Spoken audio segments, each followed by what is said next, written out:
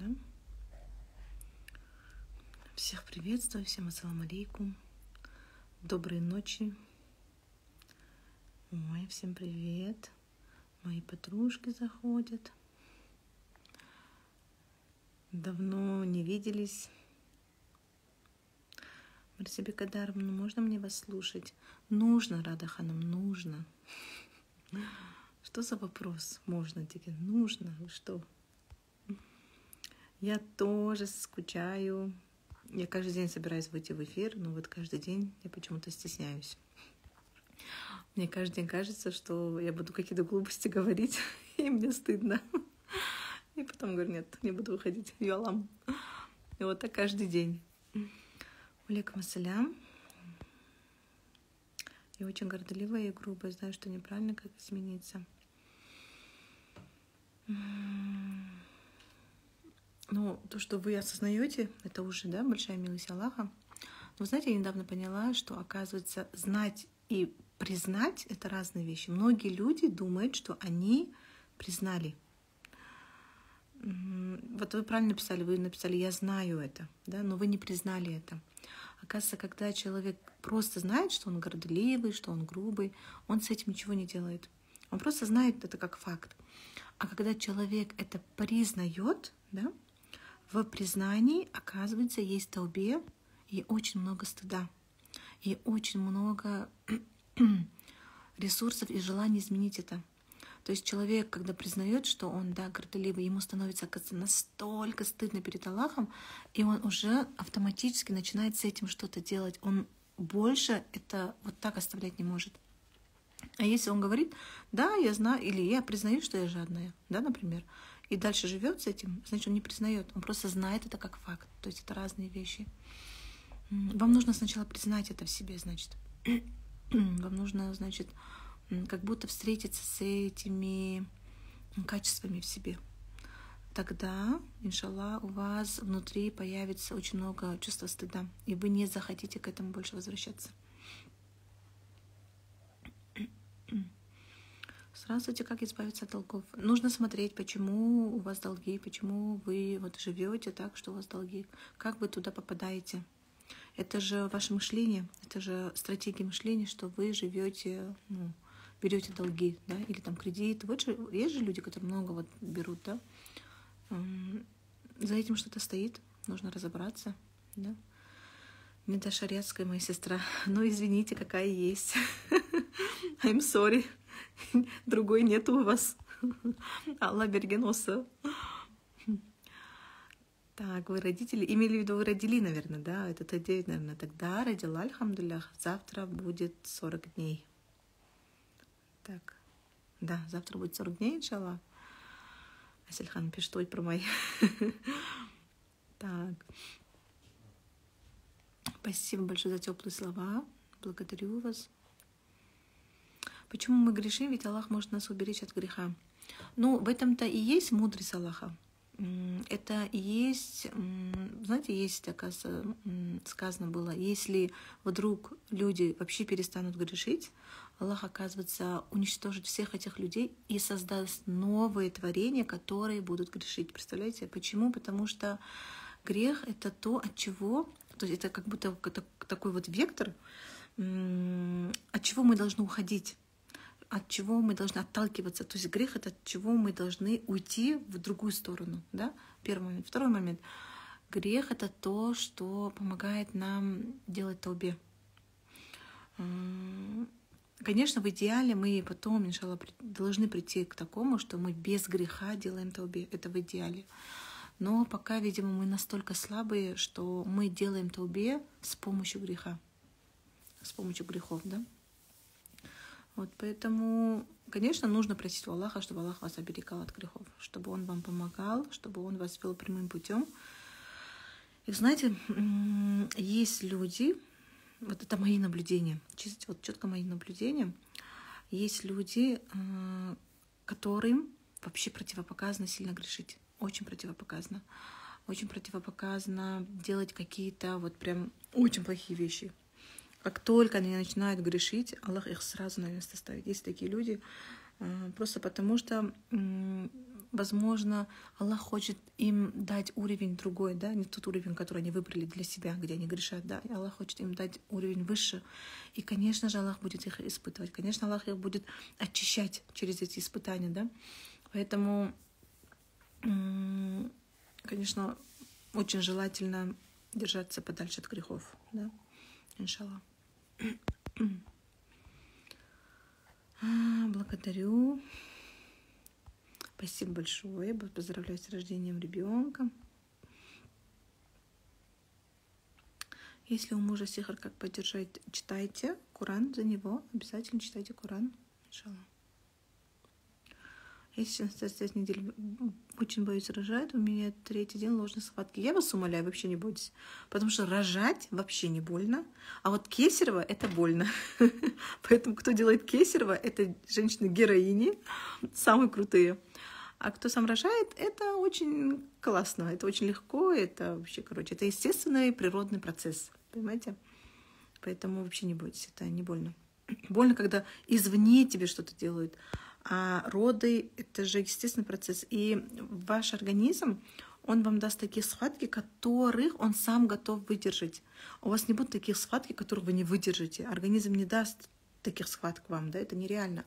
Организм же очень умный же. У вас будут такие схватки, которые, на которые у вас есть ресурсы. Вот и все. Поэтому вообще не бойтесь рожать. И меня, конечно же, удивило, когда я недавно узнала, что кто-то боится рожать и идет на Кесарева. Господи, это же наоборот больно Кесарева. Лучше самой 10 раз рожать. Тысячу раз легче самой родить, чем Кесарева. Поэтому желательно сами рожайте, иншалла. Почему мне трудно там намаз? А вы вечером обязательно мозгу своему, мозгу нужно дать э, как бы задание, что вы обязательно в 7 утра или сколько там, в 4 утра проснетесь на там намаз. А обязательно вот прям настроиться на это перед сном. И Дарета Алпчатанс, обязательно с Даретом ложитесь спать и просите у Аллаха, я рабам, утром помоги мне. Просто у меня бывали такие дни, когда, например, э, там намаз в 7 утра, а я ложусь в 5 утра. Представляете, через 2 часа там намаз. И я понимаю, что как я встану там через 2 часа, да? И в эти моменты я прям дуа делала. Аллах, пожалуйста, через 2 часа разбуди меня так, чтобы я прям выспалась и встала легко на там намаз. И вы знаете, так и происходило. Через два часа там будильник, и ты так встаешь спокойно, и ты думаешь, субханалла, как классно. А также бывает же, глаза не можешь открыть, да, тебе так тяжело. А вы обязательно дуа сделайте, намерение, что вы точно встанете. И Дарета Албджатнес легко встанет на тон намаз, иншалла.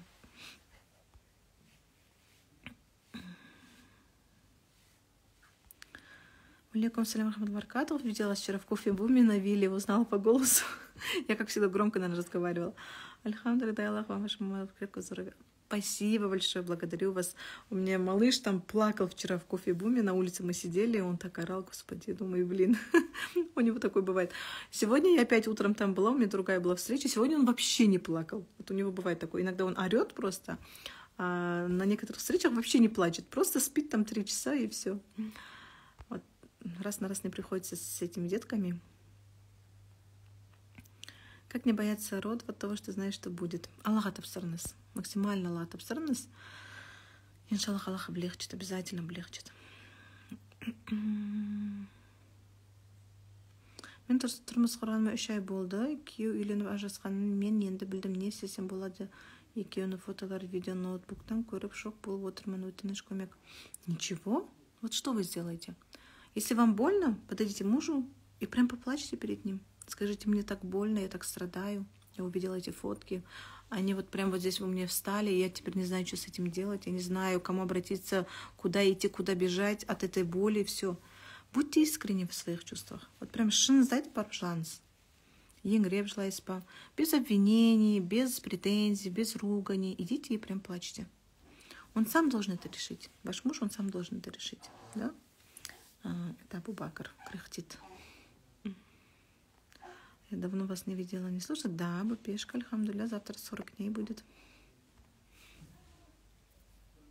Добрый вечер. Как убирать из своей жизни то, что я, что я все хочу контролировать. Да, бывает такое, что хочется все контролировать. Чем больше пытаешься контролировать, тем больше все из рук валится. На самом деле, этот весь природный процесс, да, Аллах все вот эти вот мудрости, все знания он спрятал в природе, да? Вот даже посмотрите, когда идет дождь, да, вроде бы дождь, вот после дождя такая свежесть, такая красота, да, а, даже если вот вдруг вы попадете на природу после дождя, это же невероятно красиво, это же невероятно кайфно, это же так круто, да, ты дышишь этим воздухом. Таким образом, Аллах говорит, вот всегда после дождя будет очень свежо, очень приятно, очень красиво, очень легко, да, и даже дышится легко, да. Также в нашей жизни идет дождь, когда очень больно, после этого обязательно идет облегчение, да.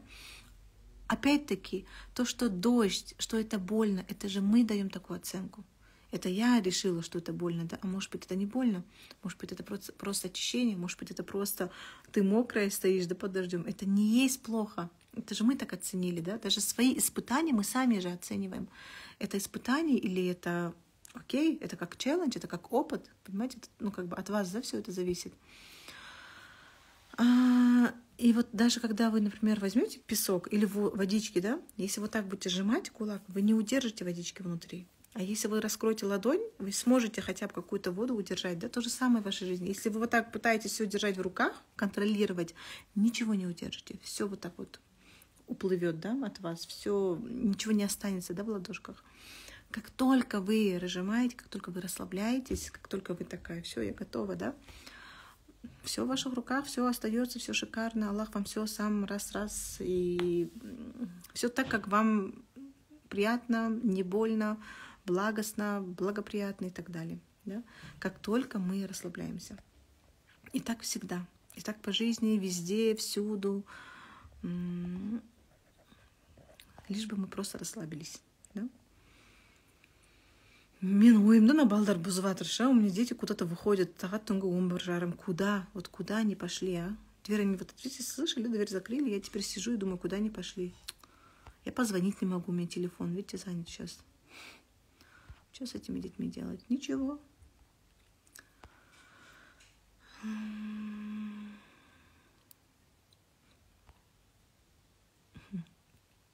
На самом деле я никому не доверяю, я всегда сомневаюсь во всем, как нужно от этого избавиться. Это кто мне недавно сказал?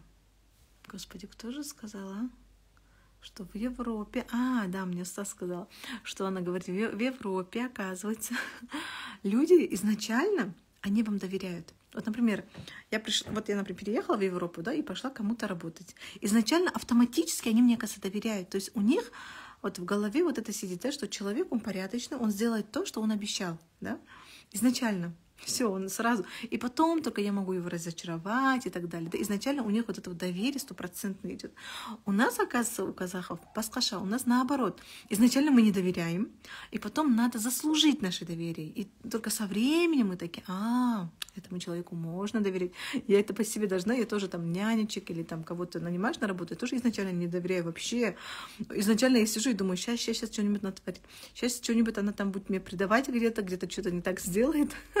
А потом уже через какое-то время ты так следишь за человеком, видишь, а нет, ответственная, оказывается, хорошая, это можно доверять. И потом начинаешь доверять, расслабляться. Так удивительно, что у нас наоборот, да, прям. Ну, это, наверное, наша какая-то вот ну, особенность, да? Как научиться доверять? Ну, все-таки, наверное, прежде всего это про доверие Богу, да? Когда вы не ставите условия, как должно все быть, вы доверяете, потому что вы понимаете, что незачем ставить условия, потому что Аллах все расставит так, как должно быть.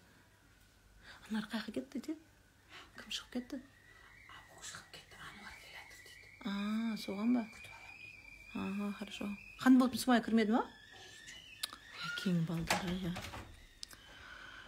так так так так жолдасым енеммен сестрасынан кешірім сұра деп жатыр ол кісілер жатқан провокация шақырды и мен жауап бердім кешірім сұрағаным дұрыс па если вы это сделаете ради аллаха то дұрыс если вы это сделаете из-за своей гордыни то дұрыс емес понимаете вот очень же сложно да определить блин это же вообще нереально да вот так взять и определить по поступкам что у этого человека внутри. Полимесяц, что внутри, потому что вы не знаете намерения. Когда мне говорят, я хочу такой же иман, как у вас сердце, астафрала, я всегда отвечаю, я надеюсь, что иман у меня есть в сердце. Я не знаю, есть ли у меня в сердце, иман у меня в сердце или нету. да? Откуда вам это известно? Это очень странно по поступкам, по каким-то этим, да, взять и вот так вот человеку дать какой-то вот вот он такой или вот он секой. Это же нереально просто. Он білмейсіз жүрегінде не бар екен понимаете? Поэтому здесь ваш поступок, он зависит только от того, ради кого вы это сделаете. И с какими намерениями, да, тоже. Как справиться с ленью? Я супер-мега ленивая. спрашиваете у женщины, которой было лень дочитать сторис, которые мне скидывали про меня, где писали. Там так много букв, они мне скидывают и скидывают. Мне, мне так лень читать. Господи, девочки, я такая... Сейчас надо собраться, прочитать, что-нибудь там ответить. И я такая думаю, слушай, хочешь слишком много букв. И потом думаю, вот когда я много пишу, кто это вообще читает, тем, да, субханаллах. Так сложно читать, когда много букв, да, кажется. Крупно сейчас с ухумками. И сложновато. Поэтому я не знаю, как с ленью справляться. Понятия не имею, честно. Это вот немножко не ко мне вопрос. Марсяхам, расскажите, пожалуйста, про женскую дружбу. Я очень верю в женскую дружбу. Я знаю, что она есть. Более того, она настоящая. Она может быть ради Аллаха. А, да, возможно, там будут какие-то моменты, да, которых нужно будет выяснять. Но как только вы честно, искренне... Посмотрите, девочки, блин, это же везде так. Честность, искренность и просто взять и поговорить, это везде, это то, что везде нужно. Это тоже моя проблема. У меня тоже есть такая проблема, я ее называю чемкинская проблема. То, что умолчать. Да, я куш, вот это вот, знаете, тоже здесь тоже моя ленивость. Куш, буду я с ней разбираться в этом. То есть она будет одно говорить, я буду и другое говорить, мне надо будет ей объяснять, просто не буду разбираться. Вот это плохо. Люди всегда должны уметь вести диалог и говорить. Вот недавно даже хадис услышала, про Мухаммад Салям стоял со своей женой, Софией, да, кажется, и проходили мимо них издалека, как я поняла, сахабы. Вот они прошли, и, он, и они видят, что он женщина стоит, да, и, ну, не поймут же, кто именно, да, из женщин, ну, просто женщина. Они не, ну, они не видят, что это его жена. И они так пришли, потом Пророк Мухаммад Салям их вот так догнал и говорит, слушайте, это, говорит, София, это моя жена. И они сказали, вы, я Расулаллах, вы что, как вы можете так подумать, что мы сомневаемся в вас, вы что, декат, они вот так вот ему говорят. И тогда Пророк Мухаммад Салям, оказывается, ответил, вот этот вот кусок сомнений, который у вас когда-нибудь, где-нибудь останется, да, шайтан Аллах будет цепляться за него. И он все равно свое дело будет делать. Представляете, да, какая мудрость. И это про Мухаммад Салям идеальнейший, понимаете, да? Чистейший просто. Если он вот так вот им объясняет, да, говорит, слушайте, это моя жена, то у нас вот то же самое, вот в дружбе то же самое.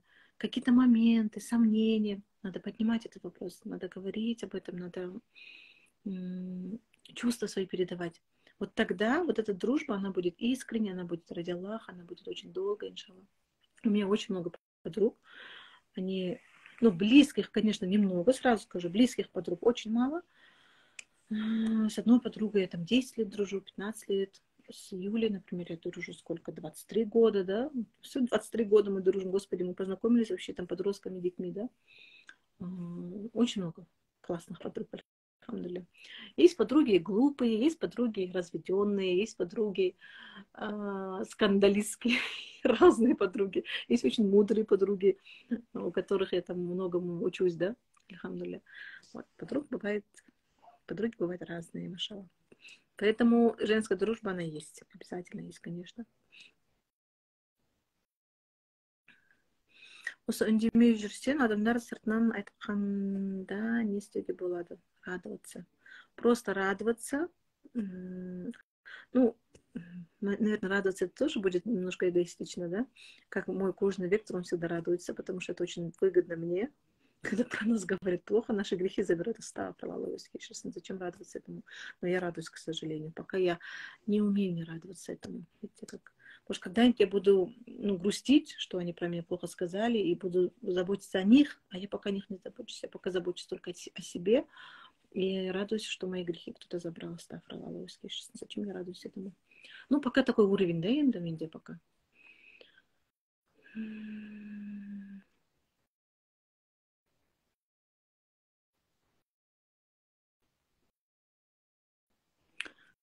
Ассаламу алейкум, алейкум ассалям. Если все предписано, почему делаем два?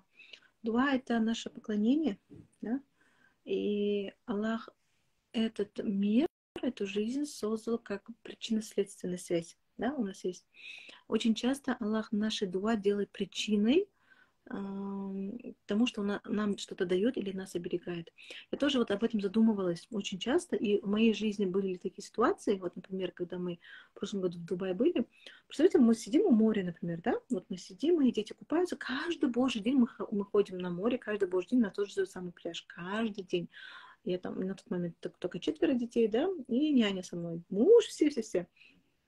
И что-то я сижу, я не плаваю, потому что для меня вода была прохладной, а дети мои все плавают, все купаются. И, ну, дети, они где, кто где, кто-то на этом берегу, кто-то на другом берегу, кто-то там в воде, кто-то вышел, ну, они бегают, играются, мы там можем 4-5 часов валяться на этом море, покушали и дальше валялись, да, то есть вот так вот. Я не смотрю, я не ищу моих детей, потому что они примерно где-то там, кто где, короче, вместе играются и так далее. И в какой-то момент э, Сумайка с няней пошли плавать в одну сторону. И знаешь, я с ними рядом, как бы все нормально, и в какой-то момент я просто сажусь и начинаю молиться за Сумаю. Я не пойму, зачем я күн да, в обычный день, вообще вот просто ни с того ни с сего начинаю за, за Сумай молиться, которого только что я видела и пять минут назад. Она ходила здесь. Я не могу понять, зачем я за нее молюсь. Просто я сажусь и говорю, я рабом, береги ее, прошу тебя. И начинаю очень много за нее молиться, и сама даже не понимаю, зачем я за нее молюсь. Мне это непонятно, это нелогично, да? К нас значит, это ладно, я зикр буду говорить, салават, ну кто, ну молиться ты зачем как бы за нее, да непонятно. А я все время говорю, береги ее, береги ее. И тут через минут 10 где-то они подходят с няней, у них вот такие шары. Я говорю, что случилось? Турлерный тургамапты. Сумая говорит, мама, я чуть не утонула, она меня спасла, еле как ужас. Я это услышала, я чуть не упала. Астафрова, представляете, девочки. Аллах решил спасти Сумаю, но он мои молитвы сделал причиной. Понимаете? Мои молитвы на тот момент, смотрите, не мои молитвы, я не могу тогда сказать, это будет глупо, если я скажу, ой, боже мой, я взяла и начала молиться, мои молитвы спасли мою дочь, Астафарла, нет, мою дочь спас только Аллах, и только Он способен на это, не мои молитвы, не мои слова, не мой Коран, который я читаю, не могут это сделать, если на это не воля Аллаха, да, моих детей спасает только Всевышний исключительно, а мои молитвы это причина, это он просто создает причины и все. Опять-таки, причины тоже создает Аллах. Понимаете? Даже причины не могу я создать. Хотя у нас же говорят, создавайте причины, тогда Аллах вам даст. Согласна, да, там если кто-то, я недавно услышала, хочешь, чтобы тебе цветы дарили, создавай причины. Хотя бы вазу купи, да, то есть купить вазу, это уже как будто создаешь причину. Но опять-таки, как ты эту вазу покупаешь?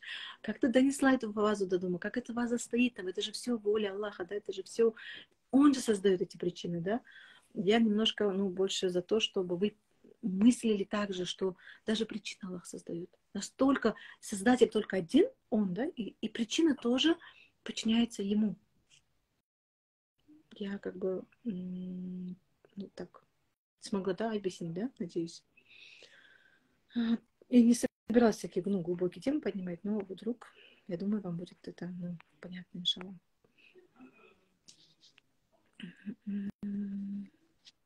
Во-первых, после спасибо большое раз. Почему я бью своих детей? Возможно, потому что вы уставшая.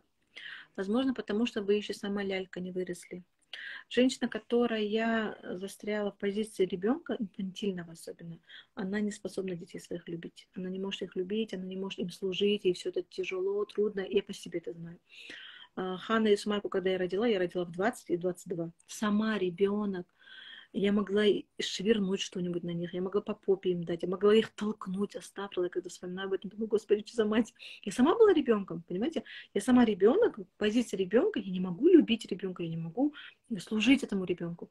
И дети мои, вот эти вот первые двое, да, когда они ночью просыпались, я просто брала этот, как его, пеленки, вот прям кидала в разные стороны пеленки, вот эти вот все подушки, раскидывала, мне это злило, что они проснулись ночью, понимаете? Как это я сплю, а вы меня будете, да, вот это. И меня это прям напрягало, я такая вообще злая, такая ужасная была Стафрова. А сейчас когда я мама этих троих маленьких детей. Вообще в анатомике, конечно, да, я там уже 29 мне было, когда я Тамику родила. Вообще другой случай. Сейчас, когда Мухаммад или там Абу Бакр ночью проснулся, господи, я такая, ты мой маленький проснулся, там что-то, что-то. И мне не важно, что утром у меня 8 утра встреча, что у меня там консультации или еще какие-то дела, да. Вообще не важно. Но даже если я не высплюсь, тоже не важно, да, я так могу. Тогда я понимаю, вот что значит, когда ты сам вырос, и тебе это все в радость. Ты готов служить этим детям, ты готов их на руках носить. Ночью, если они плачут, тебе реально ты там сострадаешь и так далее, да? Я так вспоминаю себя в 20 лет и думаю, господи, это же вообще как так, да? И несмотря на это, Аллах вот детей дает, да, альхамдулля, как контуженная, да, там на детей орешь. Что енді туылған балаға, что орать на этого ребенка? Что он понимает, он только родился, да, блин? И у него живот болит, может быть, да, или там зубки режутся, а я тут нервная, да, ночью. Поэтому это только ваша детская позиция, поэтому вот так вот у вас происходит. Надо расти, да?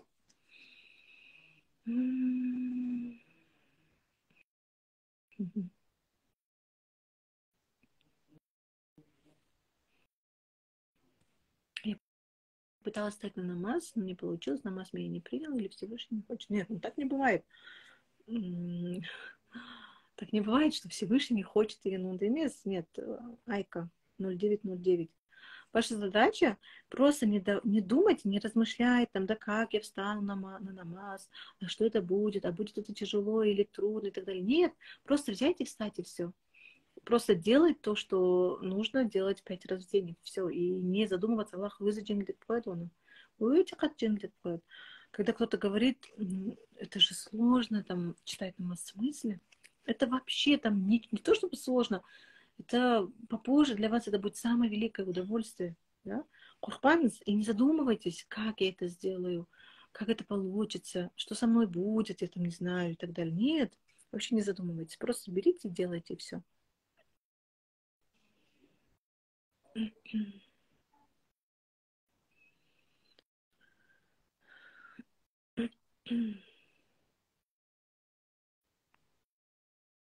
Так.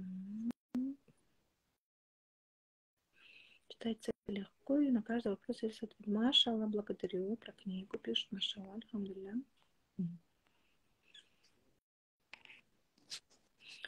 Почему не могу отпустить обиды на мать? Потому что вы королева. Потому что только королевы не могут простить свою маму. Потому что вы не на своем месте.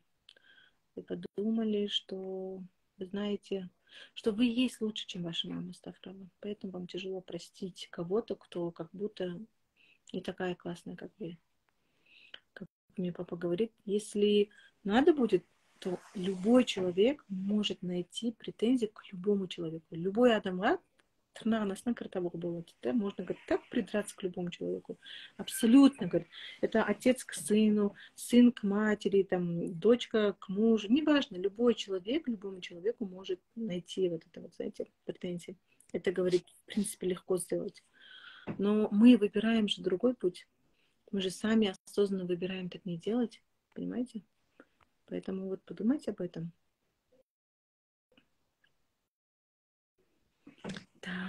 Так, спасибо большое. Ой, Ой, I'm sorry. Ой. Так, не там. Так у меня этот, как его? Немножко завис этот экран, короче. Сейчас, секунду.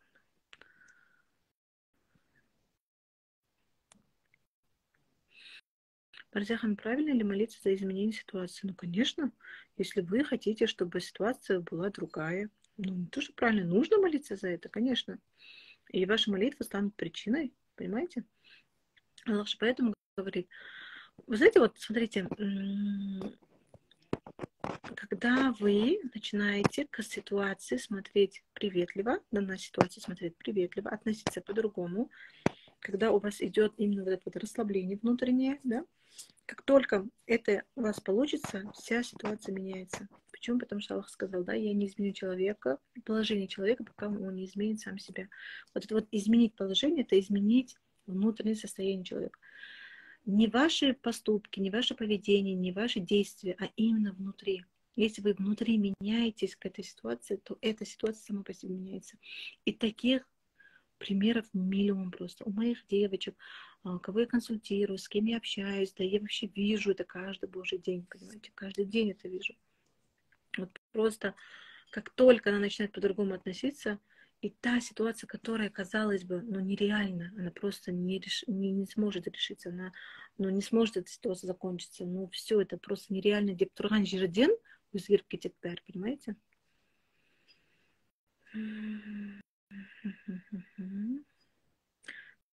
Добрый вечер. Я часто с опозданием читаю намаз. Почему? Потому что вы намаз не ставите на первое место.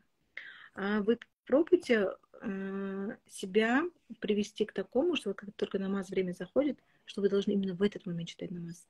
Вот раньше, когда я только начинала читать намаз, я читала намаз хотя бы, бы успеть вот в это время, когда она заходит и когда она выходит, да, например, там с часу до четырех у меня время, да, прочитать намаз. И я думаю, хотя бы вот до четырех я должна прочитать. В три, в три тридцать, неважно, три пятнадцать, два пятнадцать, неважно. И действительно тогда не успеваешь, и тогда вот это время быстро пролетает, и ты как-то с опозданием начинаешь читать. Потом я начала свой мозг менять по-другому. Я своему мозгу говорю, намаз читаем тогда, когда время только заходит. Все, время зашло, ты идешь, читаешь намаз. Когда я себя уже к такому начинаю приучать, тогда все нормально. И дела мои по порядку, и вся жизнь, прям маша альхамдулли, да, и так далее. Оказывается, нужно просто намаз ставить на первое место. И все остальные дела уже сами строятся идеальным образом под твой намаз. Вот и все. Да?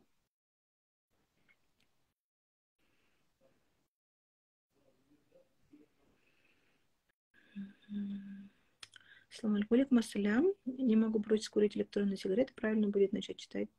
А, начинать намаз или сначала бросить, а потом только приходить к намазу. Алейкум ассалям. Просто начните читать намаз. А, когда вы вот этот вкус намаза почувствуете, вам сигареты будут не нужны. Вы от них легко откажетесь просто и все. Окей? Просто начните читать, иншалла.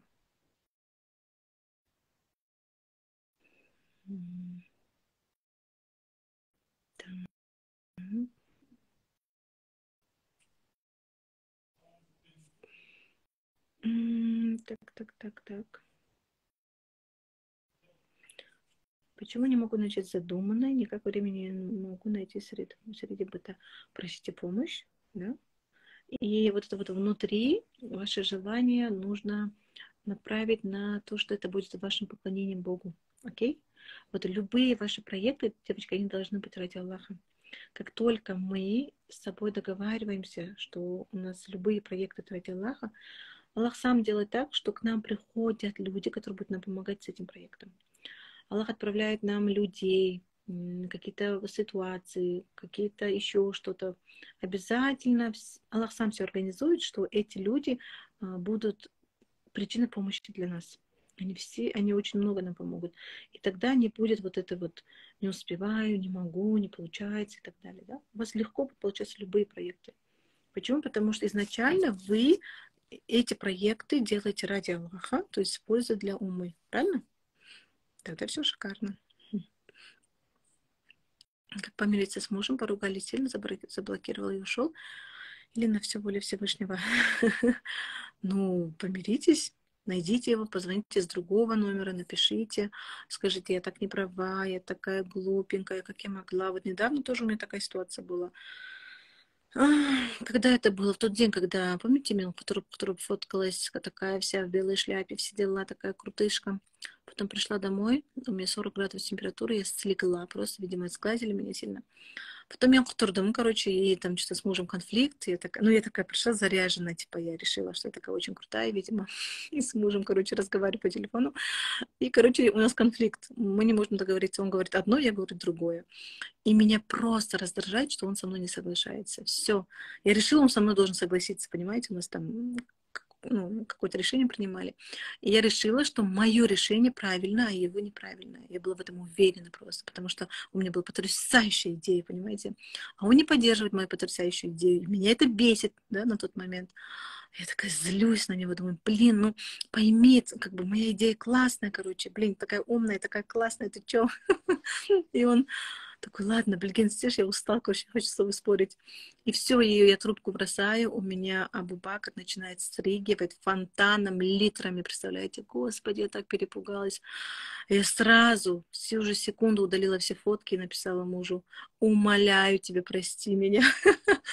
Таубе, прости, такая дура, как я могла с тобой спорить, как я могла вообще тебе такое говорить, что я права, да, я вообще такая глупая, да, я такая дура, все, прости, лала. Ему там написала длиннущее сообщение, миллион раз прости меня. Ему потом перезвонил, смеется, конечно, говорит, а, обязательно тебе надо там получать от меня, говорит, по башке, там, что вот Абубакр, говорит, так заболел. Там. И всегда так, как только я начинаю где-то где-то что-то на себя много брать, и вот так вот приходится меня перевоспитывать, да. И самое, знаете, что здесь интересное? В этот день, когда это все случилось, днем этого дня, вот накануне, да, этого дня, у меня была консультация, и там была женщина точно с такой же ситуацией, как у меня. Один в один. Вот вы не поверите, стопроцентно, как у меня ситуация. И я, когда, консуль... когда консультировала эту женщину, я ее ругаю. Я ей говорю, вы что, вообще не слушаете мои уроки? Вы что, не слушаете мои эфиры вообще? Да что это такое? Как вы можете с мужем спорить? Как вы можете говорить, что ваша идея лучше, чем его, короче?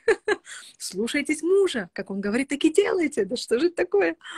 Астафрала. Вы представляете, днем я ей об этом говорю, вечером прихожу домой и сама делаю полная противоположность сама себе бы говорила бы то же самое, сама бы делала то, что я сама говорю, понимаете, да, Стафрала, это вообще такой урок был для меня. Я так-то увидела за все. За то, что утром эта женщина умничала, а потом сама сделала все наоборот. За то, что с мужем спорила, за то, что дом где-то там, да, и думаю, блин, какой кошмар. И вы от такой глупой, грешной женщины пытаетесь еще что-то там, я не знаю, про меня там пишут, что она там шарят нарушает, что она там не живет по шарят. Если бы они знали, какие вещи я вытворяю в жизни на самом деле, вообще мне, блин, что ж или, блин, про меня книгу написали бы, антикнигу про меня, какой ужас.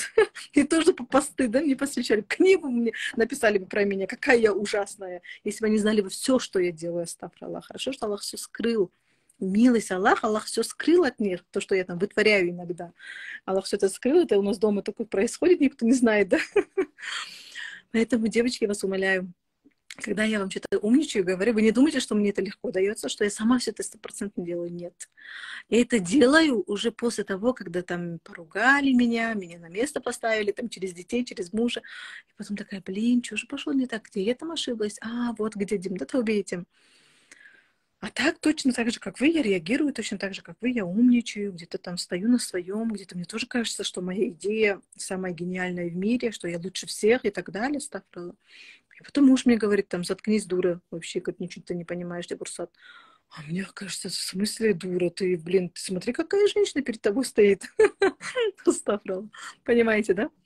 Я потом думаю, ой, Аллах, какая его милость, что он скрыл мои навсы, моей гордыни. Хорошо, что вообще Аллах все скрыл, да? Грехи скрыл, какие-то там качества, да, скрыл, да? Вот представляете, если бы я жила, и вы видели бы уровень моей гордыни, да? Вот представляете, у нас на голове что-то росло бы, да, например, уровень гордыни, какая-нибудь там штучка на голове, и видно уровень гордыни человека. Это же маскара, кошмар, да, это же ужас просто. Я потом думаю, хорошо, что Аллах все это скрыл. Господи, если бы вот эти мусульманки узнали, какая на самом деле мама, это же ужас все будет. Худай сахтас, например, қойсыншы Вот вы тоже ничего не рассказываете такое. Ну, мен жамандап жүрмеңдер оларға. Там, блин, реально про меня будут писать, я не знаю, что. Вот, поэтому я надеюсь, что все нормально. Ну, мне кажется, сондай енді, что ж теперь делать? Столько, сколько живу, я, я стараюсь, я честно стараюсь, я пытаюсь меняться, я пытаюсь все, что я говорю, делать сама, но, видимо, не всегда получается, к сожалению, да. Один раз свой один пост я поняла через полгода.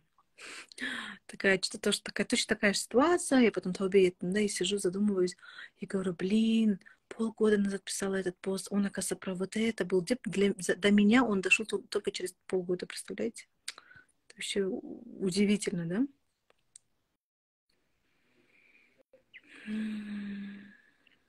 Так.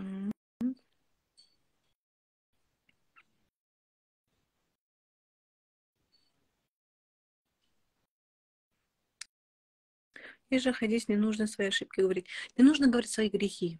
Да, грехи нельзя. Ну, мои ошибки, они, знаете, они очень полезны для людей. Поэтому я, конечно же, вам не все же рассказываю. Если я все рассказывала, не представляю, что тут было в Астафелло. Я вам не все рассказываю. Поэтому ошибки, это же, да, это же ошибки мои, это же не грехи, я так думаю. Конечно, грехи я тут не рассказывать не буду, но ошибки так. Потому что я понимаю, чтобы вы тоже понимали, что мне тоже это нелегко дается. Я точно такая же жена чья-то, как вы. И у меня есть роль жены. А жена, она такая, у нас это вот прям, знаете, блин, вот недавно у меня, знаете, что было даже? это было где-то, я не знаю, две недели назад, не помню, три недели назад, у меня, знаете, четко был, опять у меня был конфликт какой-то с мужем, у меня четко было ощущение, знаете, какое, что мой муж никогда ничего хорошего для меня не делал. Представляете, у меня вот эта мысль сидит. Сен А вы знаете, есть такой хадис, что очень женщин будет много в, в аду, и когда спросили его про почему, да, там много будет женщин в аду, он, оказывается, ответил, что потому что женщина клевещет на мужа, она неблагодарна, и она, оказывается, ему говорит, ты мне никогда ничего хорошего не делал. Представляете, у меня вот эта мысль сидит, он ничего мне хорошего никогда не делал. И мне хочется подойти мужу сказать. Я уже собиралась ему так и сказать. Думаю, кишки келеда, сяду и конкретно ему скажу. Никогда брджахсла кормит мсерин. А потом что-то, что-то, попозже время, что-то время прошло, я в себе пришла, что-то там нормально все, альхамдулилlah, да. И такая, и, нач... и Аллах мне дает начинать мысли, что он для меня делал на самом деле. И это было так много. И так, он же это сделал, то сделал, это, то, то, то. И так, так, так, так, так короче, много мыслей. Оставил, он так много, сделал для меня. И мне так стыдно, короче, потому что пришел я ему говорю, знаешь, сегодня я ходила, говорю, во дворе, гуляла, говорю, с Абубакром, и у меня мысль была, что ты мне никогда ничего хорошего, говорю, не делал. Он смеялся, говорит, вот женщины, говорит, все такие, да? А Еля Адам, ну, это ваша, говорит, природа, это вот то, какие вы есть, да, это же, блин, как ты вообще, говорит, могла так подумать?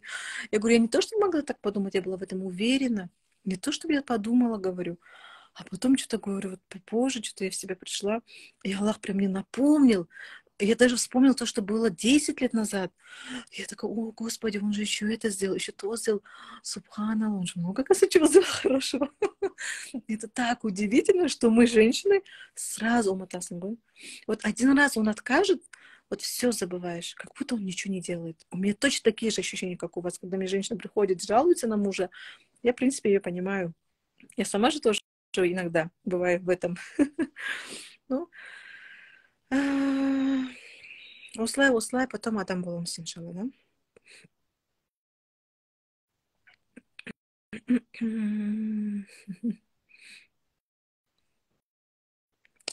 Бәрі өз уақытымен екен ғой мырза ханым да совершенно верно. И для Аллаха нет исрафа времени. Это мы так думаем. Столько лет я там потеряла нет мы не теряли. Ничего мы не теряли без разрешения мужа выйти на работу это грех. Но без разрешения мужа нельзя выходить на работу. Классно, когда он вам разрешает, когда он вас поддерживает. Вы знаете, девочки, когда муж за вас молится, именно в этой сфере, в вашей работе, да, вот молится, когда он очень приветливо смотрит на вашу, на вашу профессию, на то, чем вы занимаетесь, на ваш проект, когда действительно он делает дуа за это, обязательно там будет успех, иншалла. Обязательно. Причем, знаете, а, оказывается, женщина должна реализоваться через довольство мужа. Это как? Это значит, я должна быть реализованной в профессии после того, как я получила довольство своего мужа. Понимаете, когда он мной доволен, как женой, да, вот после этого, когда я иду и работаю, вот это будет очень баракатно. А если он мною недоволен, но я иду все равно, начинаю там работать и так далее, это не, не очень баракатно. Поэтому через его удовольствие. Но опять-таки, девочки, довольство мужа это же не про того, что вы электровеник или вы там жертва, спасатель, который всю жизнь терпит, который плохо, но почему-то она молча терпит и так далее. Это же не про это совсем. Ваша задача успокаивать. Чтобы успокоить мужчину, вы должны сами быть успокоены. Чтобы мы должны сами быть спокойны, мы должны что? Мы должны быть очень близки к Всевышнему. Только Аллаха Шахмдаб, наше сердце успокаивается. Понимаете? Только таким образом мы сможем что-то дать детям, мужу и так далее. А не тогда, когда целыми днями я буду убираться, готовить, и вот мое успокоение, я классная жена, да? Ну нет, конечно. так не очень получится. Понимаете? Это все гормоны. Вы знаете, вот согласна с этим, вот очень согласна с этим, потому что вот раньше я особо такой не была, а потом я как-то такой стала, что у меня каждые две недели конфликт с мужем. Это реально гормоны. После родов, мне кажется, это нормально, да? Колики, что делать? Ну, у нас тоже колики, у нас тоже так же.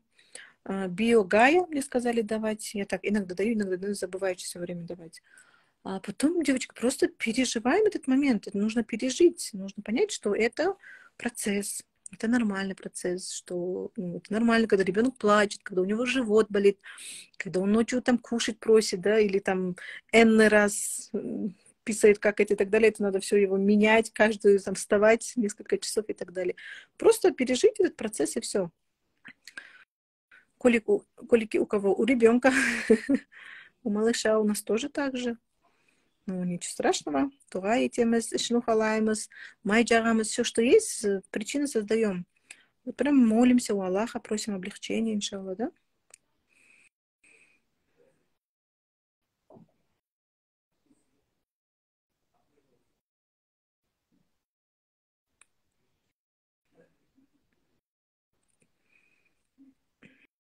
Так.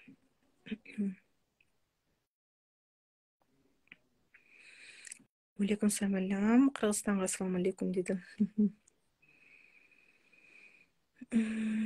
муж никогда не делает до почему интересно? За меня вообще не молится говорит ты же просишь и молишься за что тебя коснется меня тоже значит машала ну вы же не знаете может быть у него бывают какие-то свои внутренние разговоры с Богом вам же это неизвестно. Поэтому Аллах Тапсарас может быть, он все-таки молится. Так. Можно у вас проконсультироваться? Я тут раз консультировала несколько дней, потом перестала, потому что ну, немножко не успеваю. Доброй ночи, дорогая Дитна Земочка, солнышко, привет, Джан, как дела? Нам надо встретиться.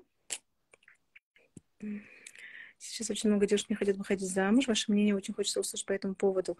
Сейчас не то, чтобы не хотят выходить замуж. Сейчас такая тенденция, такая проблема. Я консультирую очень молодых тоже, да, 20, 22, 23, 25 лет, которые недавно вышли замуж. Сейчас я что заметила? В раз хотела эту тему тоже поднять. Очень приходит часто с таким запросом на сегодняшний день.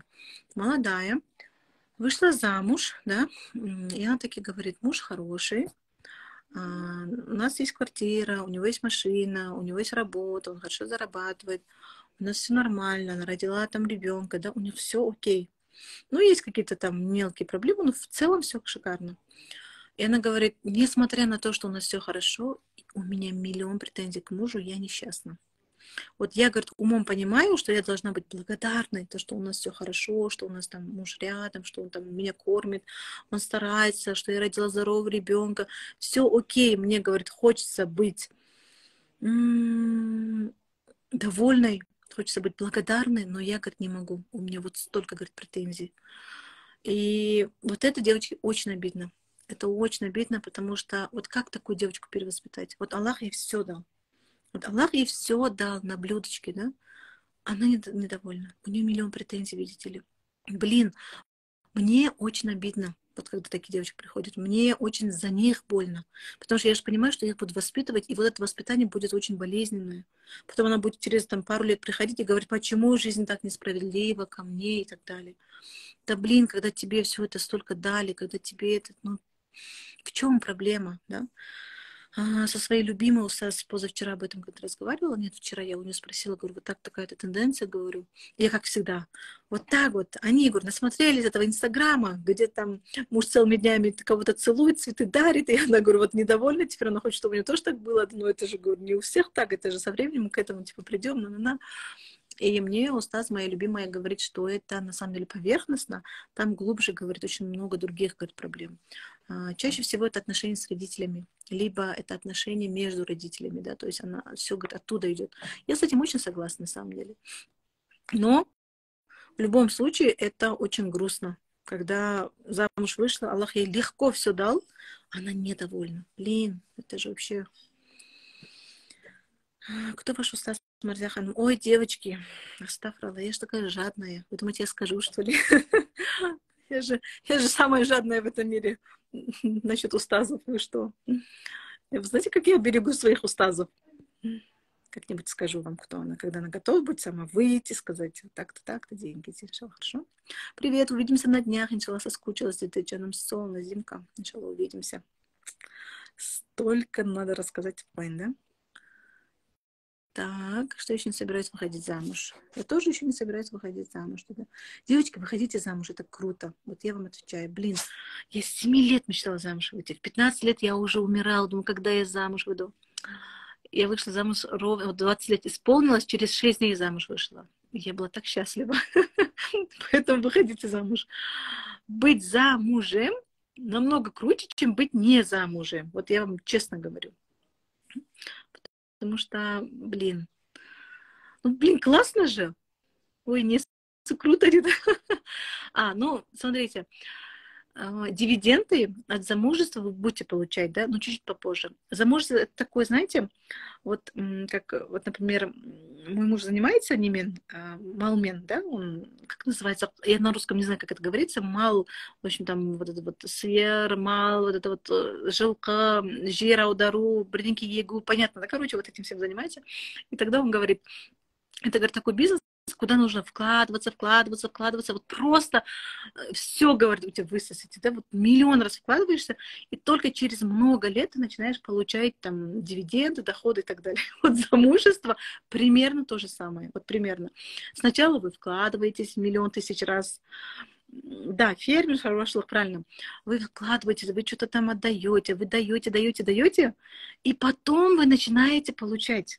Блин, ну проблема же в том, что когда вы даете, вот здесь два момента. Когда вы начинаете служить мужу первые годы, да, если вы это делаете ради Аллаха, вот эти дивиденды вы будете получать сполна, и такие благородные, мощные, большие дивиденды. Но если вы будете служить ради своего эго, ради признания, ради того, чтобы признали, какая вы крутая Келлен, какая вы крутая жена и так далее, то нифига никакие дивиденды вы не получите, вы получите миллион претензий. Вот эти будут ваши дивиденды. Но в любом случае замужество это вот такая вещь, где вы будете обязательно счастливы. Но, блин, после служения это вот знаете, вот когда мы Аль-Фатиху говорим, мы говорим «Яканах буду, а якана старым». Да? Ой, Господи, я сегодня это училась, как правильно сказать. Сейчас моя устаз услышит, как я неправильно это сказала, она меня убьет, наверное. Надеюсь, она меня не слушает сегодня. Ну, в общем, вы поняли, надо Махраш Бин красиво это сказать. Я сейчас быстро сказала просто. О чем это говорит, да? К тебе одному мы поклоняемся, да, мы Всевышнему говорим, от тебя мы просим помощи тебе одному мы поклоняемся. Это о чем говорит? Мы сначала поклоняемся, мы сначала уверовали, мы сначала, мы не видим Бога, но мы уверовали. Нам трудно поклоняться, но мы поклоняемся. И потом, что я на стороне, и у тебя мы просим помощи, да, от тебя мы все просим. Ну, вот, это, вот эти правила, они везде мы сначала поклоняемся, да, мы сначала служим, что-то делаем, и потом мы просим, понимаете, не наоборот. Мы же не говорим, я канах стороне, я канах буду. Нет, у нас все четко, да. То есть, а, то есть Аль-Фатиха, да, нам все уже объяснили, все дали понять. Но проблема в люд... людей в том, что вот смотрите, здесь я еще что поняла недавно. Оказывается, когда какая-то ситуация происходит в нашей жизни, да, э, любая ситуация, ситуации, скажем, любая болезненная ситуация. Шайтан Ахзубилях настолько хитер, он знаете, как нас обманывает? Он, вот меня тоже он четко так обманывает. Я прям раз почувствовала, как он меня так обманул. Я еще так сказала, Баран, ты меня обманул опять. Он, знаете, как нас обманывает? Он обманывает, он нам научение делает. Так будет всегда. Даже когда мне муж сказал, он же со мной не согласился же, да, муж такой, что-то там нет, что-то, что-то, что-то свое, да. И мне здесь на взгляд говорит, вот видишь, он всегда будет так делать, он только свое будет говорить, а ты всегда там, типа, и меня это так взбесило, типа, Можно, и у меня вот эта мысль поэтому это появилась. Можно же хотя бы один раз меня послушать, понимаете? Хотя моя идея оказалась в конце концов неблагодатной. Не, вообще беспонтовая идея была моя, оказывается. Вообще беспонтовая. Хорошо, что мы так не сделали, как я подумала. Хорошо, что мы мужа послушали. Хамдуля, потому что моя идея оказалась идиотской, да? Откуда мне это было знать? Я тогда поняла, что шайтана Гузбелях нас всегда пугает тем, что так будет всегда делать это. Вот когда у вас ваш муж, я не знаю, косятничает, там что-то неправильно сделал, ошибается, где-то что-то там, не, в общем, грешит, еще что-то. У вас у всех страх. Так будет всегда. Девочки, ну такого нету. Сами вспомните любую, как называется, не, не, не сфера, любой период своей жизни. Вспомните любой период своей жизни, вот когда что-то произошло. Вот этот период, он у вас длится все 35 лет вашей жизни, нет же? У вас же меняется, каждый раз меняется, меняется что-то, что-то, что-то, что-то, каждые 10 лет, каждые 5 лет, 7 лет, 3 года. Меняется в любом случае. Нету такого, чтобы мы в чем-то где-то застряли. Он даже из Гереда. А шайтан Агузбрях, он баган, он так нас обманывает, он нам говорит, ты всю жизнь будешь так жить. Вот ты всю жизнь будешь это терпеть. Вот, вот так вот всю жизнь тебе будет плохо. Представляете? Безусловно, all дайда. Поэтому не верим. Просто не верьте этому. И в замужестве то же самое.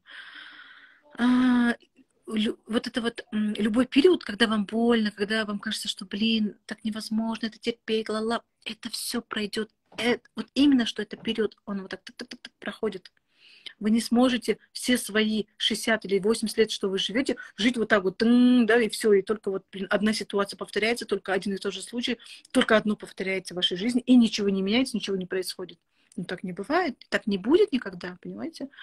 А Шайтан Ахузбелях что нам говорит? Всю жизнь он свой умер стрессом. Понимаете?